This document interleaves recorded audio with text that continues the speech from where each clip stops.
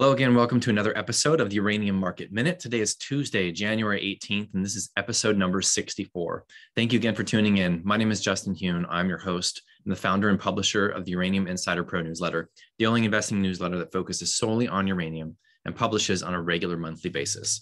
Welcome again. We had a long weekend, uh, a three day weekend for the US markets. The TSX was open yesterday but volumes are pretty negligible.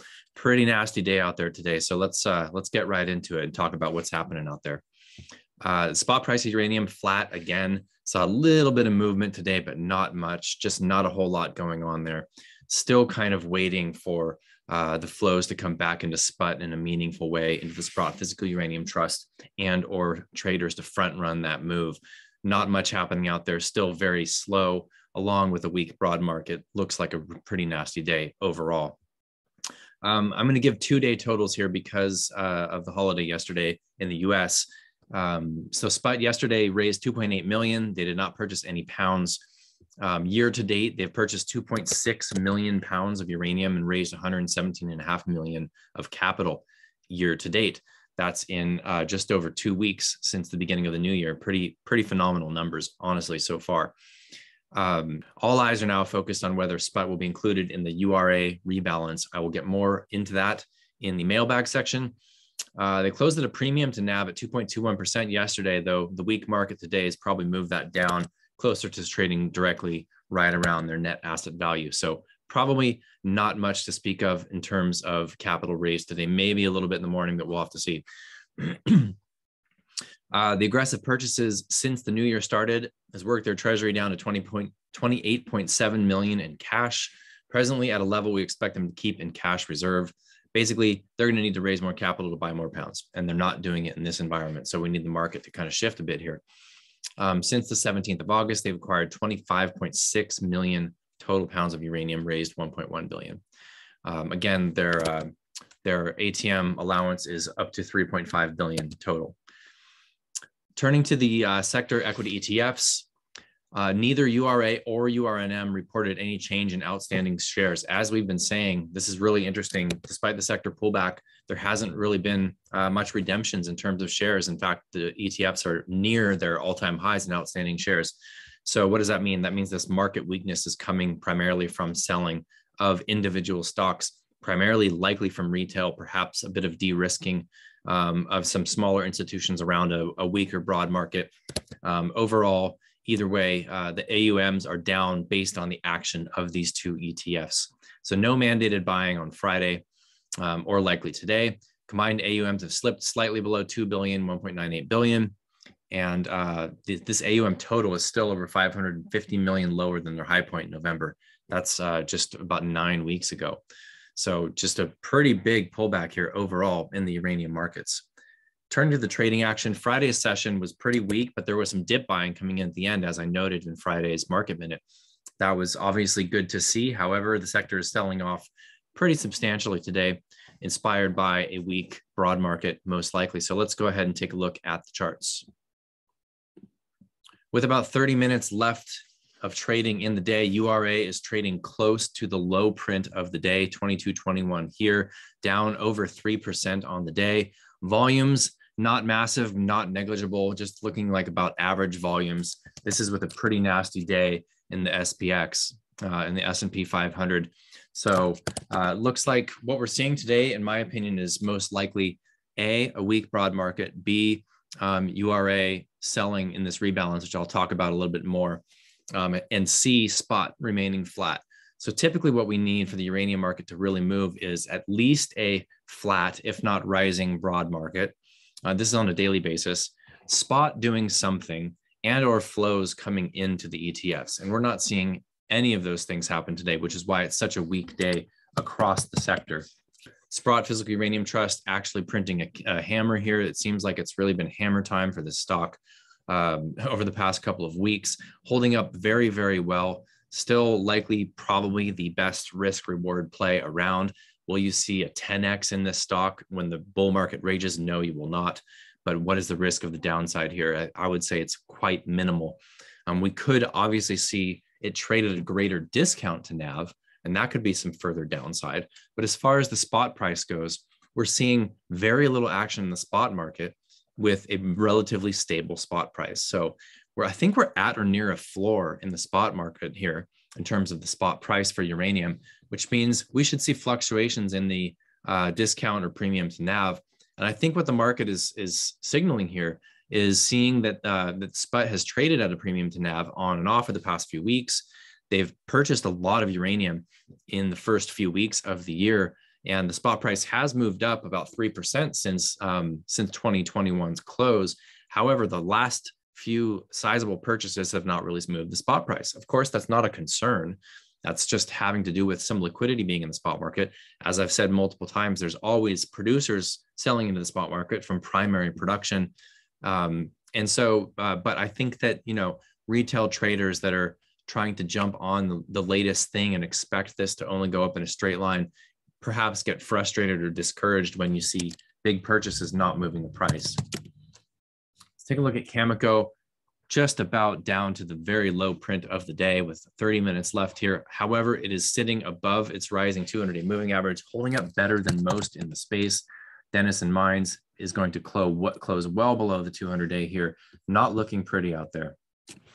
All right, so let's get into the mailbag question because I think it will address some of what we're seeing here. So today's question, Justin, I'm hearing a lot about the URA ETF rebalancing. Can you tell me about its implications? All right. So twice a year, URA will rebalance. Um, that's in January slash February. It usually kind of trickles into the beginning of February sometimes, the actual selling, but the rebalance decision happens um, in January and has already happened for URA.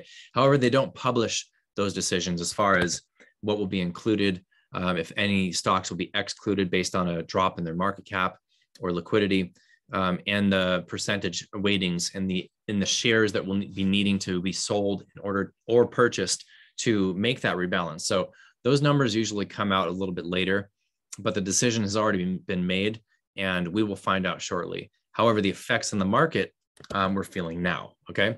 So URA rebalances twice a year, January and uh, uh, July, August. So January, February, July, August. URNM rebalances four times a year. Their last rebalance was in line with their dividend, which wasn't really a dividend, it was a tax uh, uh, unrealized gains redistribution that happened at the end of December, along with the rebalance. So URA is, but that's that's the big one in the sector. They only rebalance twice a year, so their rebalances typically have more effects on the market than URNMs do because they happen less frequently. So we are expecting uh, the Sprott Physical Uranium Trust to be included in URA. Now, when SPUT took over UPC, they changed the uh, they changed the actual legal entity from a fund to a trust. And under um, URA's previous prospectus, they were not allowed to incorporate trusts into their holdings. However, uh, they they changed the the structure of the enter, entity. Excuse me. They now they've amended the language to include trusts, which would include SPUT. That happened recently. Um, over the past few weeks, that news actually came out. So we're expecting that they will be included. We expect that they will have uh, that inclusion will max out at a 10% allocation. We'll have a full 10% allocation. We're not sure yet. We suspect it'll be slightly less than that. But what does that mean? First of all, that's really good news in the long term. Okay.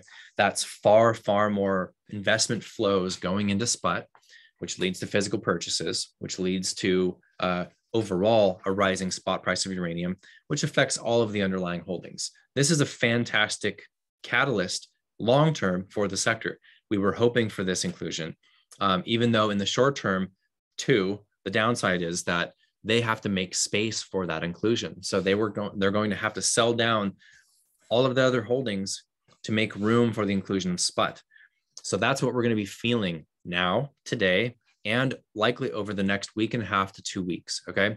So looking at the charts, we're seeing some weakness. We're seeing a number of stocks get down towards their 200 day, drop below their 200 day moving average. Sentiment is really poor. Um, it's and knowing that we have this URA selling going on, it's possible that we see further weakness. Okay. And it's it's likely that we're going to see, well, it's guaranteed we're going to see further selling coming from URA. However, not sure whether we'll see buying match that selling in the coming weeks. That probably has something to do with the broad market, probably has to do with whether or not some institutions are going to take advantage of this opportunity and seize that opportunity. and take some sizable positions to see some volume coming in. Either way, I'm not seeing bottoming patterns here in the charts. And I think that it's likely we'll see some weakness um, from this sell off. Now, I do think that this URA rebalance is likely to at least uh, is likely to be the short term bottom for the sector. Now, does that mean that I think it's going to have a V recovery? No, I don't.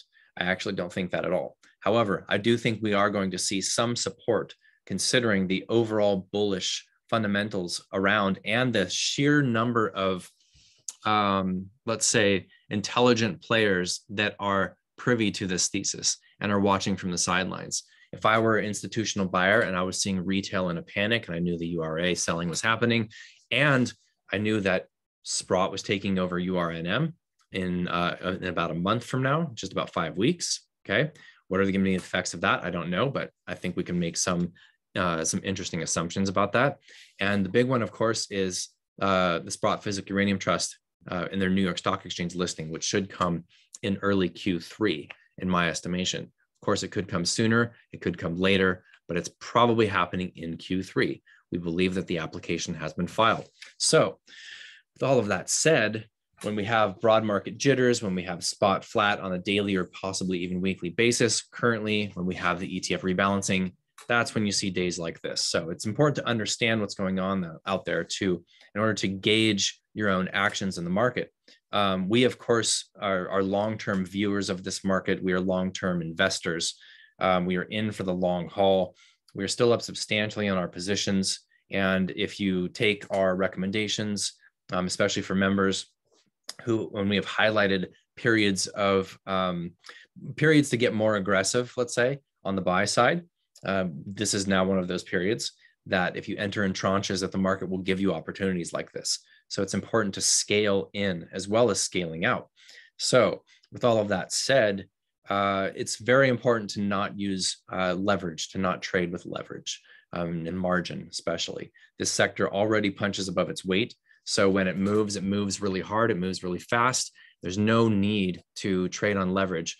Um, we always avoid short-term options um, if anything, we like to use leaps or option spreads, which have done very well for us in the past.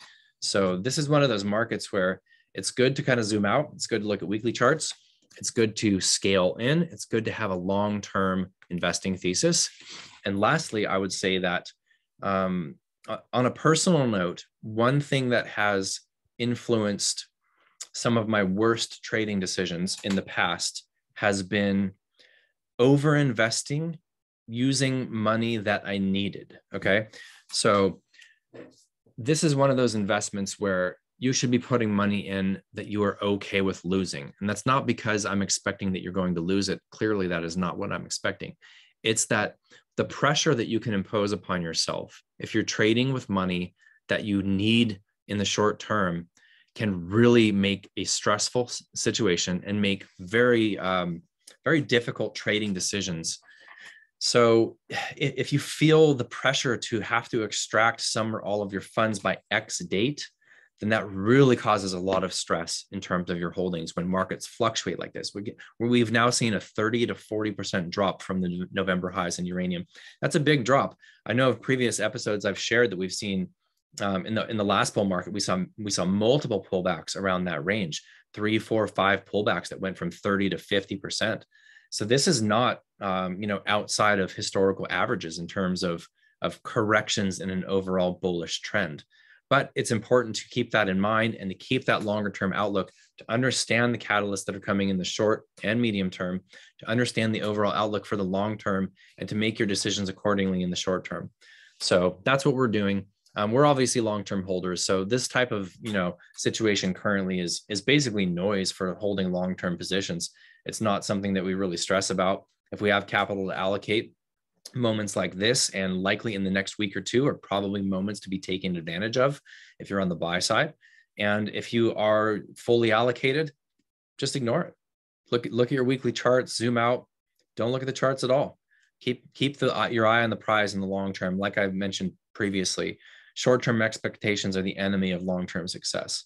All right, um, let's hope we see a little bit of uh, uh, stabilization in the markets in the coming week. Um, I believe that we possibly will, although, as I've mentioned, the URA ceiling will have its impact on the market, at least in the short term. So keep that in mind and uh, uh, hang in there, guys. All right, we'll see you tomorrow. Cheers.